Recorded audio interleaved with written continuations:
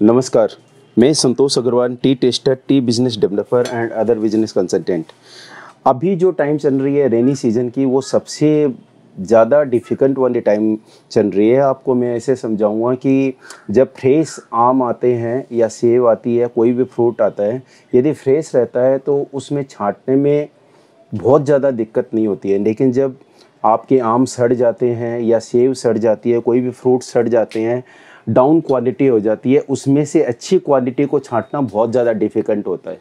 उसी हिसाब से चाय के बिज़नेस के अंदर में भी अभी प्रजेंट में जो टाइम चल रही है, वो रेनी सीज़न के टाइम चल रही है। और रेनी सीज़न के अंदर में क्या होता है, पत्ते बहुत ज़्यादा आते हैं और उसके पत्तों के अंदर उतनी क्वालिटी बेटर वे में नहीं रहती है। मार्केट के अंदर में एक ये ट्रेंड आता है कि भाई रेट बहुत ज़्यादा गिर गए हैं, लेकिन जितनी ज़्यादा रेट गिरती है, उससे ज़्यादा क्वालिटी गिर जाती है।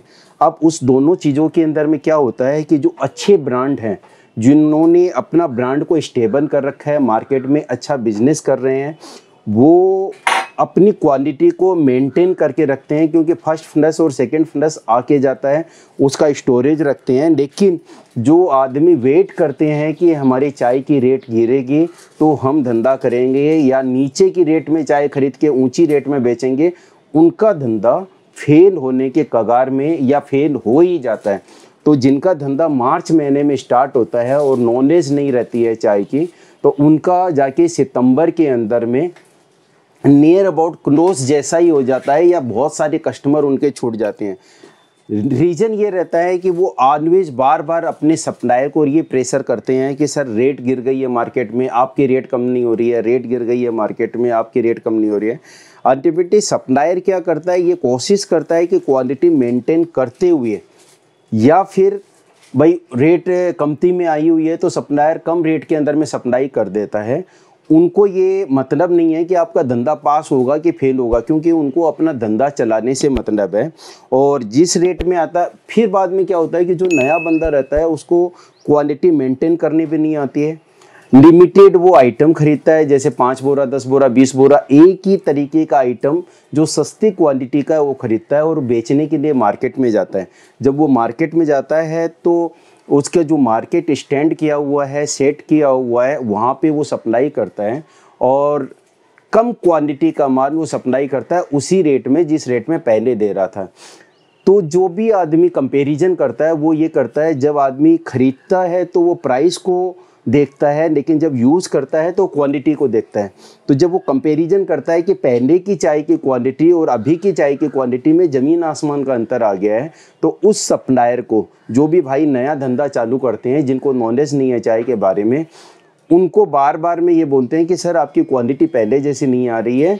और यदि उनके बस में भी नहीं रहता है, जो सप्लायर है तो धीरे धीरे उनका क्या होता है कि कस्टमर छुटने लग जाते हैं।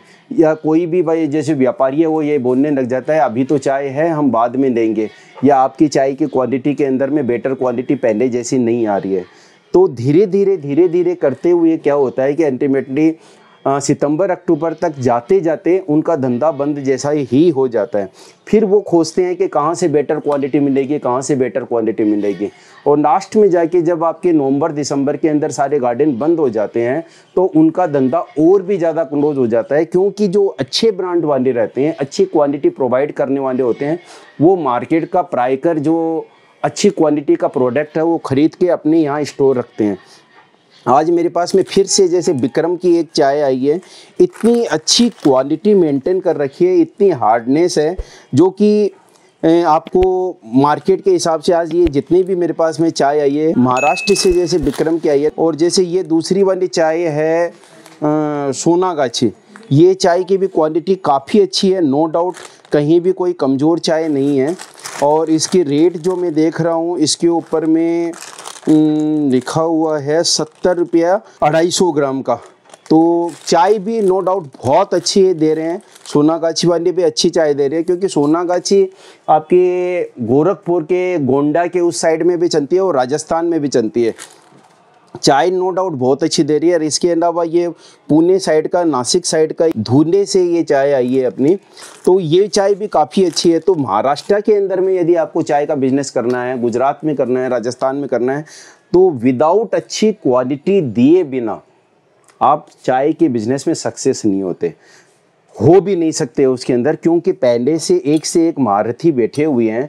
और यदि बार बार में यदि आप अपने सप्लायर को यदि ये प्रेशर देते हो कि रेट कमती हो गई है, आप भी कमती करो तो कहीं ना कहीं उसके अंदर में ये दिक्कत आएगी आपको कि वो आपको क्वालिटी नीचे की ग्रेड का थोड़ा सप्लाई कर देगा, या फिर दे देगा, या फिर वो भाई, ठीक है, इनको समझ में नहीं आ रहा है तो कम क्वांटिटी का या मना कर देगा कि मेरे पास में कम रेट की चाय नहीं है। और जब आप कम रेट की चाय का या कम क्वांटिटी की चाय का यदि माल देते हो बाज़ार में तो आपका बिज़नेस ज़्यादा दिन तक नहीं चलेगा। तो अपनी क्वालिटी के बारे में सतर्क रहिए। क्वालिटी बेटर वे में मेंटेन करके ही दीजिए। बाज़ार का, आपका बाज़ार ही बताएगा आपको कि आपके बाज़ार में क्या चलेगा और कोई भी नहीं बताएगा। रेट को मेंटेन करते हुए, अपनी मार्जिन को मेंटेन करते हुए धंधे को आगे बढ़ाएँ ये विदाउट मार्जिन के धंधा नहीं होता है। आपको ये वीडियो यदि बेटर लगा हो, आपके कोई क्वेश्चन हो, कमेंट बॉक्स में ज़रूर से दीजिए। चैनल को सब्सक्राइब ज़रूर करिए। दूसरे भाइयों को शेयर करिए जो भी चाय का धंधा करना चाहते हैं। और आपको हमारी कोई भी बातों में यदि कुछ पॉजिटिवनेस लगती है तो आप प्लीज़ इसको थम से लाइक का बटन दबाइए और आप अपने व्यापार में सतर्क रहिए और क्वालिटी को मेंटेन करते हुए आगे बढ़िए। यही सारी शुभकामना मेरी आपके साथ में है। थैंक यू वेरी मच बहुत बहुत धन्यवाद। आपके कोई भी क्वेश्चन हो कमेंट में भेजिए।